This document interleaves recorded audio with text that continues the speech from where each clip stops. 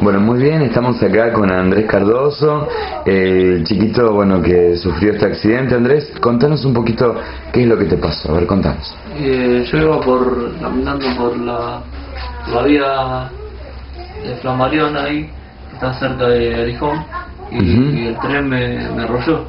Y, y ahora me amputaron las piernas. Claro, ese fue tu, el accidente que te pasó. Bueno, ¿y cómo estás ahora? Y ahora únicamente bien, estoy recuperando, estoy en rehabilitación y estoy superando la, la, la, la- ¿cómo te puedo decir? El, el decaimiento, ¿viste? Lo estoy superando, pero me estoy poniendo bien, fuerte. Bueno, nosotros desde ya que te queremos decir que mm, vamos a hacer un gran evento y me gustaría que invites a la gente.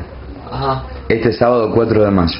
bueno, así que pueden ir, me, me gustaría que vayan, que concurran ahí, al lugar, eh, así me pueden dar una ayuda si quieren, y le, agradecer- le agradecería mucho a la gente.